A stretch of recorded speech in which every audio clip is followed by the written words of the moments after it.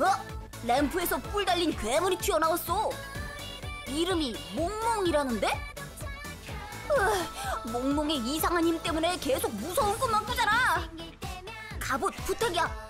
우리의 꿈을 지켜줘. 이렇게 이상한 꿈만 꾸는 건 정말 싫어.